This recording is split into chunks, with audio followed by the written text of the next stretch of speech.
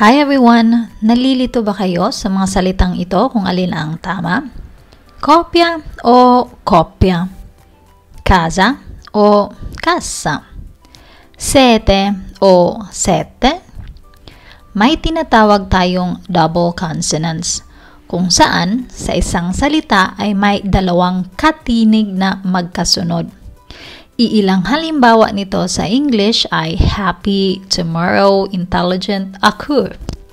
Sa Italian language, tinatawag nila itong doppie consonanti, kung saan ang pagbigkas nito ay napaka-importante sapagkat una, para maiwasan ang pagkalito ng parehang salita. Halimbawa, ang casa ay magkaiba sa casa ang sete ay magkaiba sa sete. At pangalawa, ang pagkakaroon ng magkasunod na parihang katinig ay nagbibigay ng ibang kahulugan sa isang salita.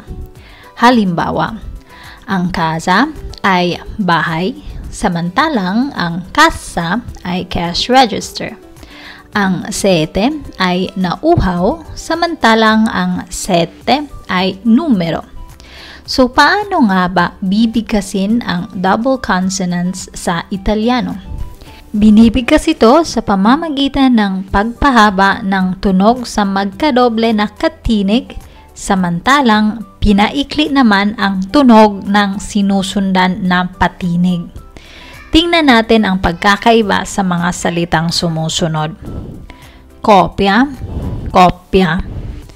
Nono, nonno capelli, cappelli, note, notte, pala, palla, tono, tonno.